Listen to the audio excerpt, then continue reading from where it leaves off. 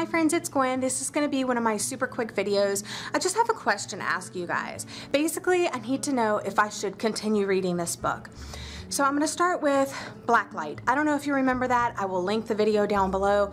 But I read that, um, I think it was like November, October, no, it was October that I read that book. And as I was reading through it, I just really wasn't attaching to any of the characters or the plot line or the story. I didn't think it was scary. But I pushed myself through the book. Basically, I forced myself to read the book and I hated it.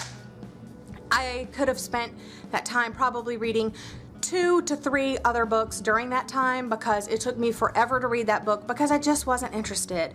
The second book that that happened to was Winterspell by Claire Legrand and for the first 155 pages I was forcing myself to read this book then on page 156, I fell in love with the book and from 156 to the end of the book, I really enjoyed it.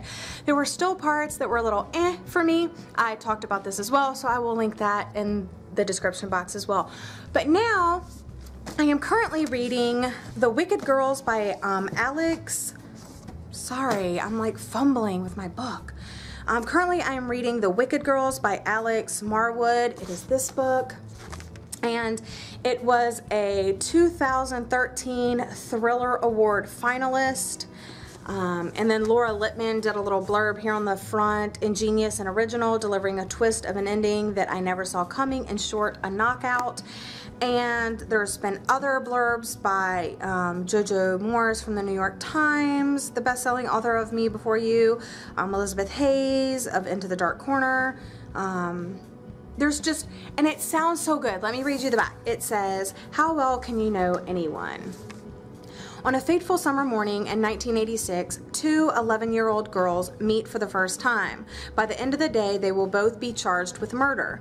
25 years later, journalist Christy Lindsay is reporting a series of sickening attacks on young female tourists in a seaside vacation town when her investigation leads her to interview carnival cleaner Amber Gordon. For Christy and Amber, it's the first time they've seen each other since that dark day so many years ago.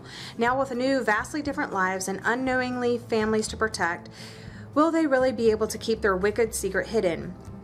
Gripping and fast-paced with an ending that will stay with you long after you've read it, The Wicked Girls takes you to a thrilling dark place you've never seen before.